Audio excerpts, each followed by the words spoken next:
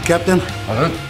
Right, so I've shown you the photocopier, the IT department, there's the coffee station, and here, the office fridge. And we've got a perfect system in place here, okay? It combines the best of sociological, environmental, managerial, and obviously nutritional. So behold our system. Foolproof.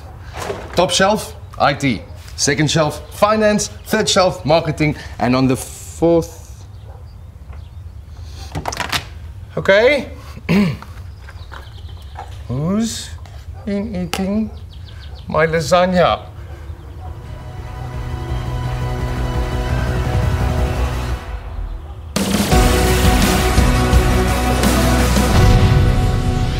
A warm welcome uh, to yet another action-packed edition of uh, Playing the Bounce. Now this is great to see. It's the perfect example of strong leadership laying down the law to uh, the rest of his charges. Oh, just stop your whinging and get over yourself, mate.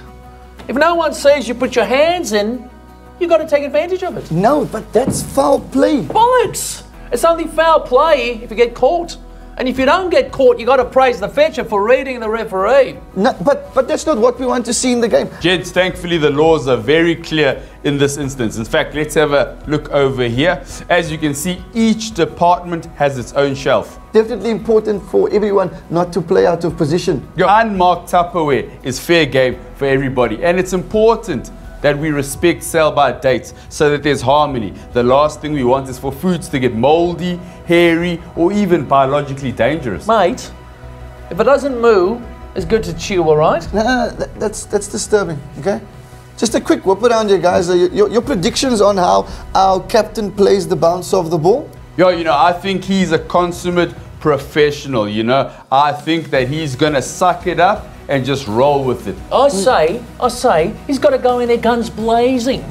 Don't go for the ball, go for the man, mate. You a disgusting person, you know? Thank you very much. Lovely compliment. So yes, he's been taken off guard uh, and, and set back a bit. Uh, he didn't react well to the bounce of the ball, but surely he has to find a way to set an example. Uh, let's go back to the action to find out how our captain plays the ball. Right, people. Does nobody have any respect anymore?